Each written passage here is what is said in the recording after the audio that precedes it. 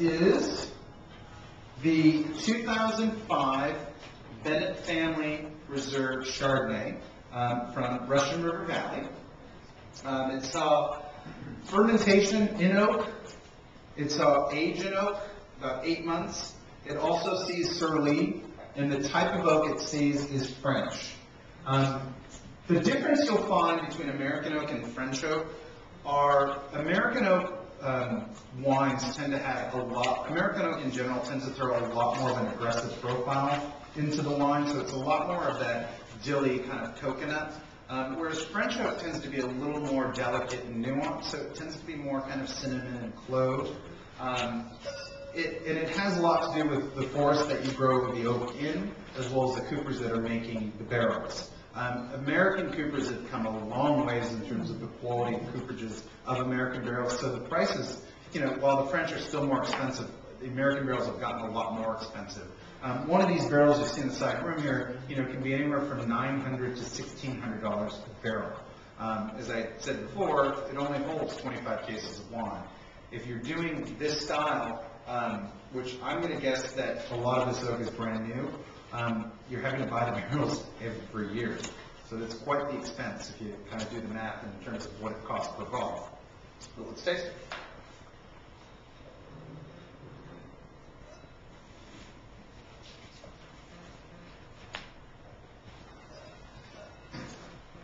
Right away, the fruit jumps out of this glass, in my opinion, in comparison to that Chilean Erasmus. Um, it comes from a cooler climate relative to California, but as we've kind of climbed up the scale here, um, this to me is a much more fleshier, um, unctuous, kind of richer wine. It, it has more weight to the palate. It seems a bit chewier on the mouth. Um, I think that has something to do with the fruit profile to some degree, but I think it has a lot to do with its treatment in the oak. Um, while I talked about flavors of oak, um, what it does texturally to wine as well is it enriches wine. It brings everything to the surface and makes wines rounder. Um, these oak barrels are not airtight. And so what ends up happening is the wine oxidizes slightly, and as wines oxidize, they concentrate, and so you just end up with a fatter, richer wine. Now, going back to the raw resources, if you don't start with a good, high-quality sourcing of grapes, then the, wine, the oak will overwhelm the wine and it'll taste like, you know, licking a two by four, which is not that enjoyable, I'm sure you've never done it, but, um, it, um, it, it just, that's all you taste. Whereas if it starts with good, high quality fruit, it's a component of the entire profile. I think in this wine, I get definitely more obvious so. I can taste kind of the toast level in this wine. I think it's balanced. I definitely think there's good quality, dense um, fruit to it that's handling the soap, but there's no doubt that this has the most oak in the lineup that we've tasted so far. Um, so, as an example of what a very obviously oaked wine would be in this flight, this is it, in my opinion.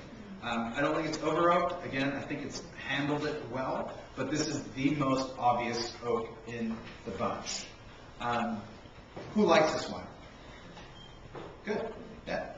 Um, I would say pick this wine over 99% of Chardonnays out there because what I find a lot of wineries will do to get this profile is is apply kind of a cookie cutter formula of, you know, let's do 12 months of oak, brand new oak every year without any consideration of what Mother Nature brings you each year. And when you're a large winery like Kendall Jackson that's making 4 million cases, it's a lot harder to kind of bob and move every vintage. And, you know, when you're a smaller winery like the Bennett family guys, you can do that. And I think they've made the right assessment with this particular vintage in allowing um, the right amount of oak to handle the, the quality of fruit that they got this particular vintage.